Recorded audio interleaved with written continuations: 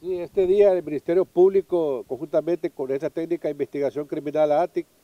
ejecutó una serie de, allanamientos con orden de captura a fin de, cumplir una orden emanada por un juzgado en la ciudad de Tegucigalpa, donde se procedió a la detención de nueve personas supuestamente ligadas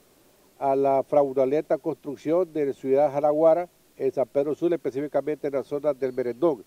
Esta orden de captura era contra los empresarios César Octavio Elvir Prieto, Antonio José Oviedo Prieto, José Luis Gutiérrez Hermosilla, Wilfredo Humansor eh, todos estos representantes legales de este proyecto habitacional Ciudad Jaraguara que se construyó en tres, tres fases.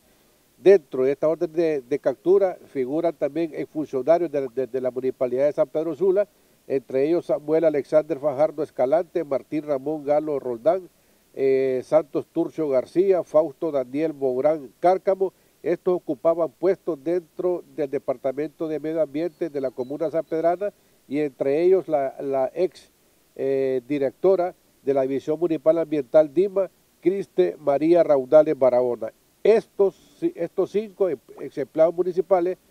era porque extendieron permisos sin llenar los requisitos correspondientes para que estos cuatro empresarios procedieran a la edificación del proyecto Ciudad Jaguara en la zona del Merendón. Derribaron una fuerte cantidad de árboles, metieron dinamita en, la zona, provocando severos daños incluso